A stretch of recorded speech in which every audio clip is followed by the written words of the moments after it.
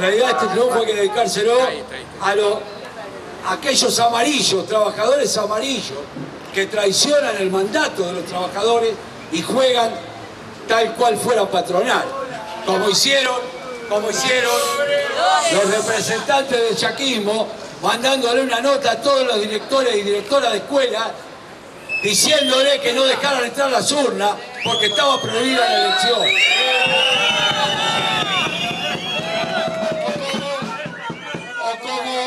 O como, el otro que dice ser representante de los trabajadores del neumático y prohibió en acuerdo con la multinacional dueña de Pirelli, Fate, Bristol, Firestone, prohibió que entrara a las urnas para que los obreros del neumático pudieran votar.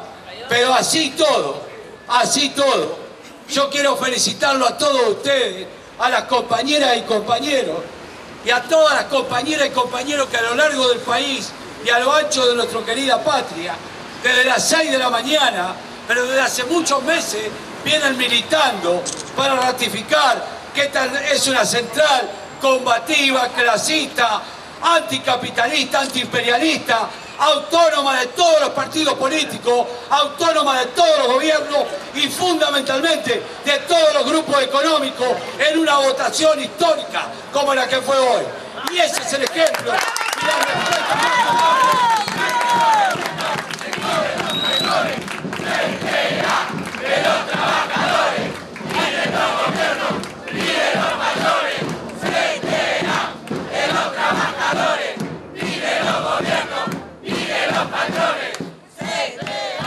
Quiero que que para nosotros estas elecciones no eran un acto formal para cumplir con el estatuto. Para nosotros eran un desafío. Desafío porque veníamos de hace cuatro años atrás haber llevado adelante un proceso electoral con aquellos querían, que querían ponerle la bandera de un gobierno a nuestra central. Porque en esta central no está prohibido ser militante de cualquier partido. Al contrario, nosotros estamos de acuerdo con los partidos políticos porque eso forma parte de la democracia. Lo que no estamos de acuerdo con que se ponga la bandera de nuestra organización, la bandera de un partido político. En esta central resuelve la asamblea y el plenario delegado.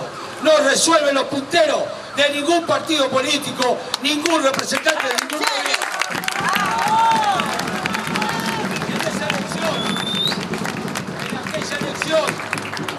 Luego de un también ejemplar participación de compañeras y compañeros, votaron cerca de 245 mil compañeras y compañeros, con un padrón de un millón y medio de afiliados. Presten atención a esa cifra. Un millón y medio de afiliados en el 2010 votaron 245 mil compañeras y compañeros. Nosotros ganamos aquella elección. Por amplio margen la ganamos. Estos tipos ensuciaron la cancha, embarraron, no a Micheli, a Pedro, a Víctor de Genaro, a Víctor Mendivil, a todos los que fuimos protagonistas en aquella elección. No ensuciaron eso, porque no importa en todo caso que me ensucien el nombre o no se ensucien el nombre. Ensuciaron una experiencia democrática y plural y revolucionaria en el mundo, que es votar por voto directo a la conducción de la central. Eso fue lo que hizo el gobierno de la mano, o Yaqui de la mano del gobierno. Y entonces volvíamos cuatro años después a tener que resolver si dejábamos de lado esa forma de elegir a la conducción o si ratificábamos con toda la fuerza y todas las convicciones, las convicciones de la central, los principios fundacionales. Y entre los principios fundacionales está el tema del voto directo. Y es riesgoso el voto directo, porque genera mucho quilombo, porque es una elección nacional. No es un tema fácil, y mucho menos sin aparato, y mucho menos con pocos recursos. No es fácil hacer que desde la Quiaca a Tolwyn, Tierra del Fuego, voten todas las compañeras y compañeros de esa mesa a todos lados. Estamos hablando de 18.900 cargos. Hoy se movilizaron para esta elección alrededor de 40.000 cuadros de la CTA, de las tres listas. Quiero saludar entre paréntesis a las dos listas que participaron, que nos honran con su participación. Más allá de la diferencia que podamos tener, han elegido esta central para participar. Así que va nuestro saludo reconocimiento a los compañeros de la del Partido Obrero y del Nuevo MAP. Pero decía, nos ensuciaron la cancha y lo que quisieron hacer fue decirle a todo el pueblo argentino, no, no se hagan lo democrático, pero porque no se puede. Si se quiere hacer lo democrático, terminan embarrados, terminan sucios y criticados por toda la sociedad. Y tuvimos que sortear esa situación. Y la tuvimos que sortear y elegimos el mejor camino para sortearla. Dejar de lado la pelea interna con estos tipos que la embarraron y dedicarnos a pelear por las reivindicaciones de nuestros compañeros y compañeras trabajadores. Y decidimos poner a la central en la calle, salir a recorrer el país, con Pipón, con Ricardo, con Chile, con todos los compañeros. Salir a recorrer la Argentina y a discutir en cada plenario. Y a salir a pelear. Y nos animamos a hacer paros nacionales. Solos, primero. Solos. Aquel 8 de julio famoso, que después fue pie para la unidad de acción y que generó esa gesta histórica, dicha por otros que no son de la CTA, una de las más grandes de los últimos años, que fue el paro del 20 de noviembre del 2012. Eso fue porque esta central empujó, porque fuimos a pelear con todo eso para revertir aquello que nos habían ensuciado. Y hoy, después de este paro del 10 de abril, donde ya volvimos a ratificar que de la calle no nos van a sacar ni con bala de goma, ni con tiro, ni con leyes antipiquetes, ni nada, porque vamos a seguir luchando en todos lados. Y hasta que no se cambie la distribución de la riqueza y no derrotemos este sistema injusto, va a seguir habiendo paro y movilizaciones y esta central va a estar en todo ello en ningún Volvimos a insistir con el tema electoral. Y en esta oportunidad, compañeras y compañeros, y este es el mérito de ustedes, después de todo aquello, yo la verdad estoy sorprendido gratamente de lo que ha sido la elección. Les puedo decir que con un padrón de 1.100.000 afiliados, porque 400.000 fueron dados de baja pasado a la otra parte, porque no les correspondía, porque eran porque habían dicho que ellos querían estar en la CTA o en el sector aquel que representa a Chaquito. Entonces nosotros dijimos, no lo vamos a tener en el padrón. Y lo sacamos del padrón.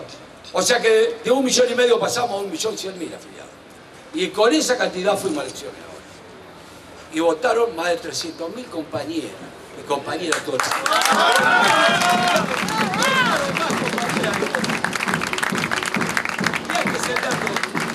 el que haya votado cerca del 30% del padrón. Es un dato espectacular, porque realmente no solo son 60.000 o un poco más que lo que votaron en el 2010, con menos afiliados, sino que esto demuestra la convicción que hay en la Asamblea. De todas maneras, no, a mí en particular no me conforma el hecho de quedarnos contentos, festejemos, seamos felices por esto, pero no nos vamos a quedar con el hecho de que poco pero bueno. Nosotros queremos ser de masa, queremos ser 3 millones, porque nuestro país y el pueblo argentino los trabajadores necesitan una central de masa en Argentina. Con esta concepción clasista y que esté combatiendo en la calle contra el ajuste y contra la pobreza, que esté combatiendo para que nuestros pibes vayan a la escuela, que esté peleando para que nuestros viejos tengan el 82%, que estén peleando para que nuestros hijos tengan futuro en Argentina. Y eso no lo va a garantizar ningún partido político, por más bueno que sea. Solamente si no hay una central de masa que empuje las transformaciones movilizadas y en la calle con conciencia de clase, no va a haber transformación en la Argentina. Y ese es el desafío de esta nueva etapa. Hemos ido a esta elección, la ganamos con esta contundencia. Casi el 87%, 90% de los votos a favor de la lista 1. 10% casi a favor de la lista 3.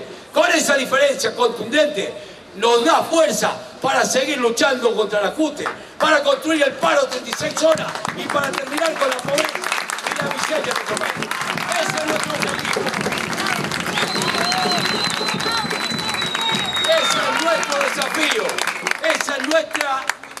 nuestro compromiso con todos los trabajadores de nuestro país y particularmente con nuestros compañeros de esta central. Nos vamos a multiplicar no alcanza la excusa, como habrán visto hoy, de que las cosas las prohíbe el gobierno. Porque cuando el gobierno las prohíbe, es peor la reacción. Porque así fue. Prohibió, mandaron todas las cartitas que quisieron a los directores, a los jefes del personal de todas las empresas, y los compañeros fueron y votaron igual. Las compañeras fueron y votaron igual. Y a nosotros nos prohíben como central.